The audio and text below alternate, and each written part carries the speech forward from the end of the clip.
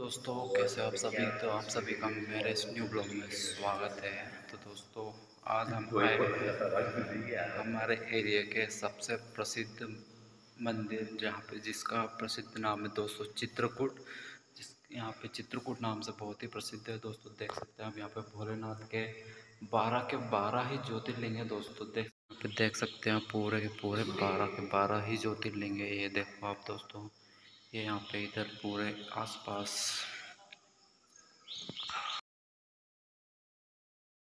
सकते हैं पूरे के पूरे मल्लिकार्जुन, ये ओमकारेश्वर, इधर है बैद्यनाथ धाम।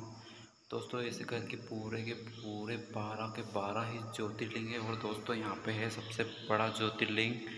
महाकालेश्वर, जहाँ पे उज्जैन के नाम सुना होगा आपने सभी ने, उज्जैन के नाम से।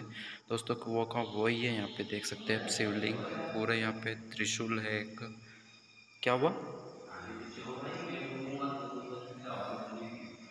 हाँ दोस्त तो आप पूरा इस, घुमाऊँगा दोस्तों, आप देख सकते हैं यहाँ पे कितना मस्त लग रहा है पूरा मंदिर। और दोस्तों, अब यहाँ से हम जाएँगे, दोनों के दोनों, देख सकते हैं पूरा, आप लोगों ने दर्शन कर ही लिए होंगे।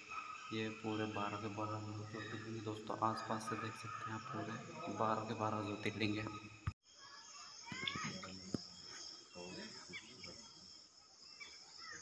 चले भाई। हाँ भाई, चलते हैं।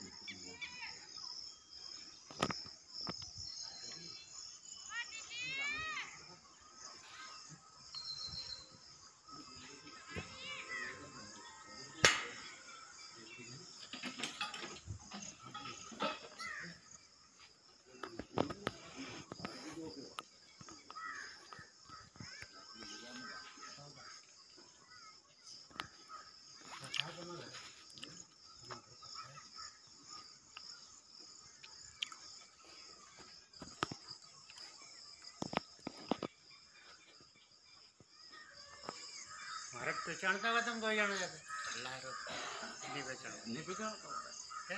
नहीं पहचान घर? अपने ये रोड पे कारखाना का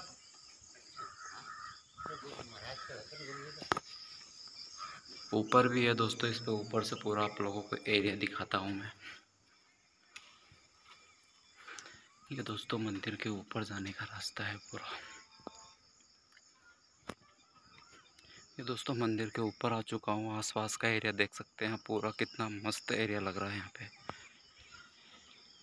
ये देखो दोस्तों, नीचे का है, ये सामने।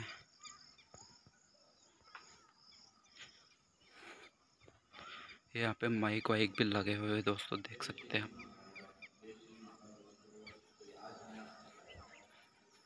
इधर पूरा मंदिर का एरिया देख सकते हैं आप दोस्तों, कितने मस्त हरे भरे पेड़ हैं यहाँ पे और यहाँ पे। ओम नमः शिवाय। झंडी भी लगी हुई है दोस्तों।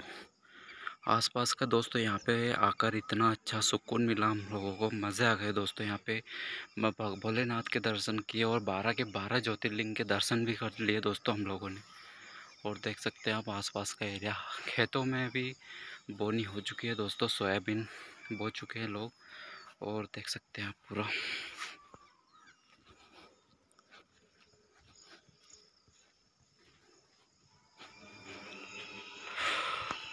दोस्तों आज का ब्लॉग आप सभी को कैसा लगा? कमेंट में बताना। अगर अच्छा लगा हो तो प्लीज़ यार सब लोग सपोर्ट करना। सब्सक्राइब कर लेना चैनल को। तो दोस्तों, आज का ब्लॉग यहीं समाप्त करता हूँ। मिलते हैं अगले ब्लॉग में। तब तक के लिए बाय जय श्री राम।